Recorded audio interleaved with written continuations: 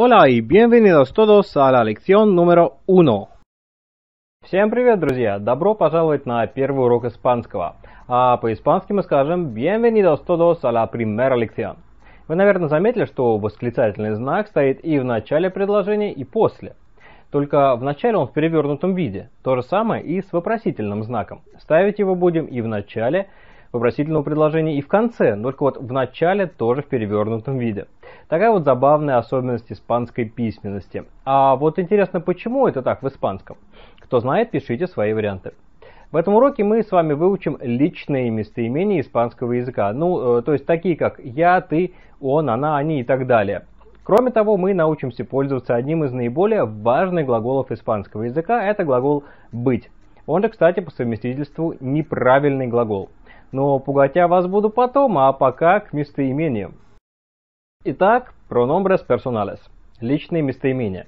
Давайте запоминать по порядку. Я – это yo. Сразу пару слов о правилах чтения. По большей степени читается все достаточно просто.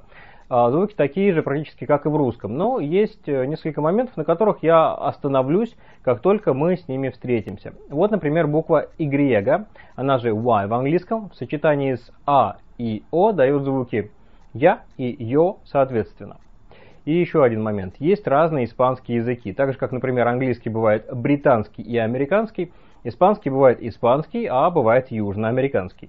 У испанцев «я» будет «йо», а у южноамериканцев это скорее «джо». Но это не суть важно. «Ты», «ту», со значком ударения. Э, это чтобы отличать этот «ту» от другого «ту», который означает «твой». Он это «л», тоже со знаком, поскольку без значка это будет артикль. Она это «эйджа». Опять нюанс, как это читать. Две буквы «л» в испанском всегда читаются как «ж». В испанском варианте и в южноамериканском «дж». То есть э, она это «эйджа» или «эйджа». Как вам больше нравится? Мне больше импонирует южноамериканский стиль. А еще в испанском есть вежливое обращение на «вы», ну, прям как у нас. А, «Вы» вежливая форма – это «usted». Мы, если мы мужского пола, то «nosotros». А если вы женского пола, то «nosotras».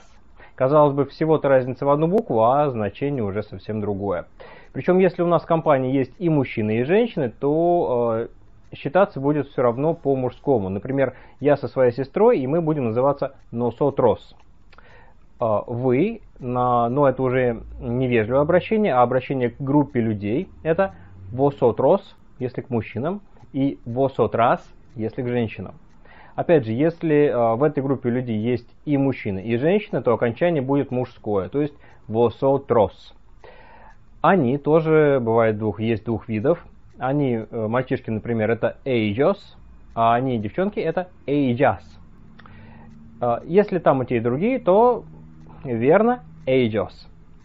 И еще одно, это обращение к группе людей, а, да еще и с уважительным оттенком. Ставим уважительное usted во множественное число и получаем ustedes. Как вы успели догадаться, множественное число образуется при помощи окончания s. А, но это в общих чертах, подробнее об образовании множественного числа в других уроках. Теперь поговорим о глаголе «быть» в испанском. Как и в английском, испанское предложение не может быть без глагола. Этот «ser» – не что иное, как глагол «to be» в английском. Только если в английском форм совсем мало, то тут придется немного потрудиться и запомнить формы. Заодно закрепим местоимение. Я уверен, что вы подумали, что их там так много, что я никогда не выучу. Да ничего подобного, все обязательно запомните. Итак, я есть, yo soy. Например, yo soy maestro. Я есть учитель мы в русском языке есть не используем, и поэтому это просто «я учитель». В испанском понятно, о ком идет э, речь по форме глагола ser. Например, soy, понятно, что это я, поэтому э, зачастую местоимение не проговаривается. Просто soy maestro. Разумеется, soy с большой буквы должно быть. Ты есть, tú eres. Например, tú eres mi amigo mejor. Вот эта буква по-английски J, а по-испански она называется hotta, произносится как х то есть ты мой лучший друг. Опять же, ту можно опустить и скажем просто «Eres mi amigo mejor». Эль, ella, он или она есть, плюс еще вежливая форма на вы, usted. У всех трех э, форма будет s. Например, Мария, Es una chica hermosa. Мария красивая девушка. Мы есть, nosotros, nosotras, somos. Например, Pedro y yo somos hermanos. Pedro и я братья. Вы есть – это не вежливая форма, а просто множественное число. Vosotros, vosotras, sois. Например, sois muy alegres.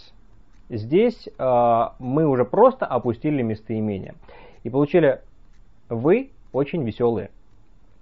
Они есть и вы есть в вежливой форме имеют общую форму, то есть ellos, ellas и ustedes son.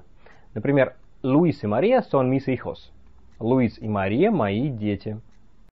Давайте разберем еще несколько примеров, ведь так много форм и местоимений, что кажется очень легко запутаться.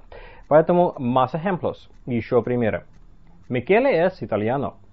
Правильно, Микеле итальянец. Mi padre y yo no somos morenos.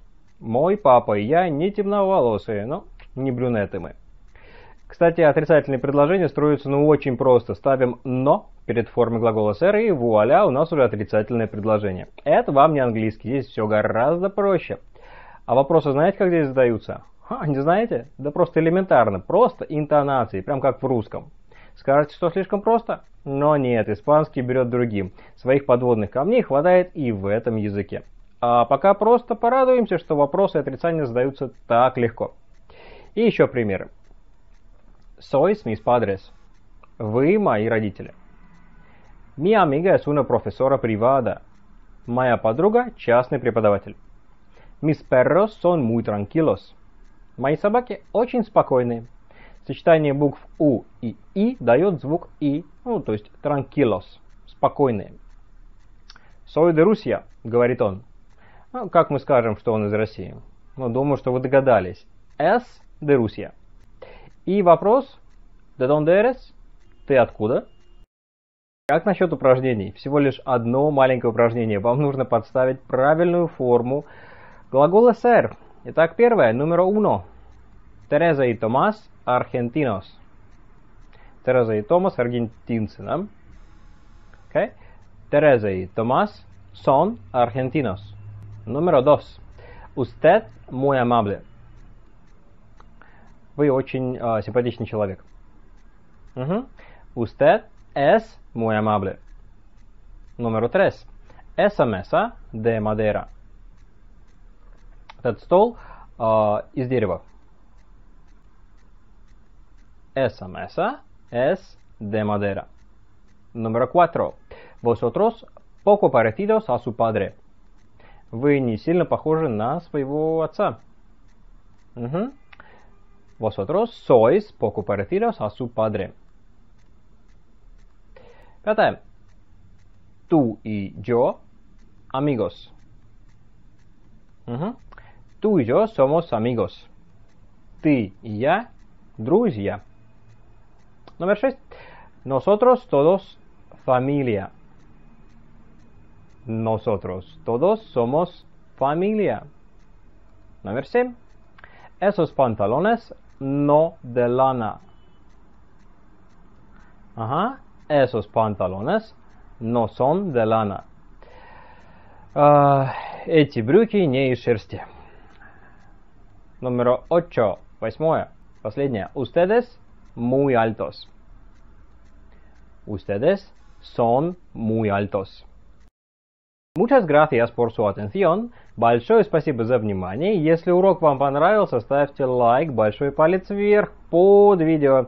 Если не понравился урок, то очень жаль, ставьте дизлайк, большой палец вниз тоже под видео. Кроме того, обязательно подписывайтесь на канал. У меня вы найдете уроки не только испанского языка, но также и английского, причем в большом количестве.